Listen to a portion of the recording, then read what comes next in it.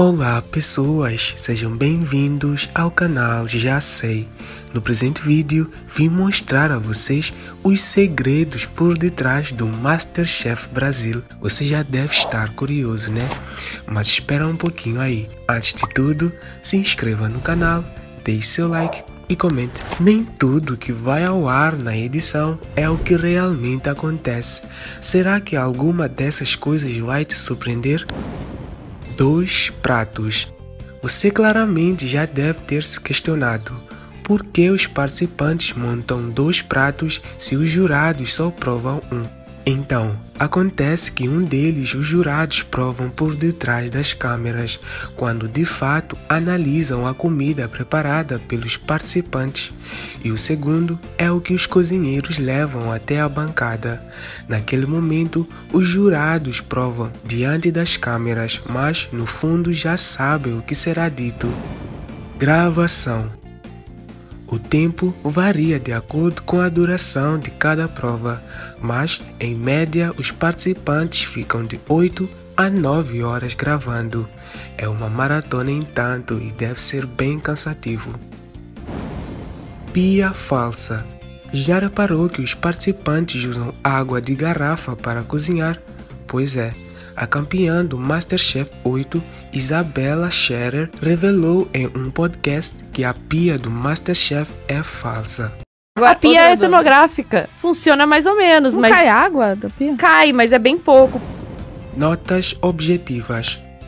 Quando os jurados provam os pratos pela primeira vez, longe das câmeras, eles já dão notas que vão de 0 a 10, inclusive com números fracionados. É assim que os chefes já avaliam tecnicamente os cozinheiros, pois as notas determinam o melhor e o pior prato, e consequentemente o vencedor e o eliminado do dia. Nem tudo eles encontram no mercado. Participantes, antes de cada prova, precisam pensar em mais de uma receita antes de ir ao mercado, pois, obviamente, nem sempre encontram o que precisam. Mas, mesmo assim, a variedade é grande e, como sempre é dito, o que não é usado é doado. Tudo que não é usado nas provas é doado imediatamente, naquele dia mesmo, tá? Pausa para o lanche. Você acha que só são os jurados que têm o privilégio de comer os pratos? Não, os cozinheiros também se dão bem. Geralmente, nos dias de gravação, os chefes pedem pratos dos seus renomados restaurantes para os participantes e a produção se deliciarem. Que privilégio, pois não? Resultado registrado em cartório. O Masterchef, como vocês já devem perceber, é gravado com muita antecedência, embora o resultado da final seja revelado ao vivo. Os jurados já sabem quem vai levar o troféu.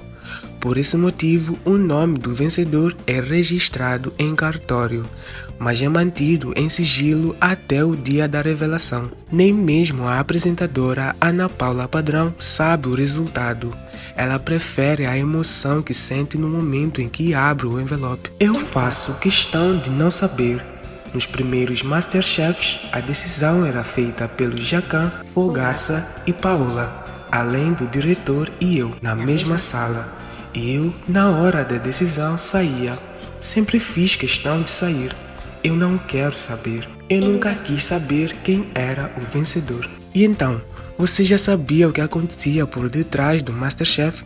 Gostou de saber as curiosidades? Comente qual te deixou mais surpreso. E fica por aqui mais um vídeo do canal. Não se esqueça de se inscrever, deixar o seu like e por fim comentar. Nos vemos da próxima.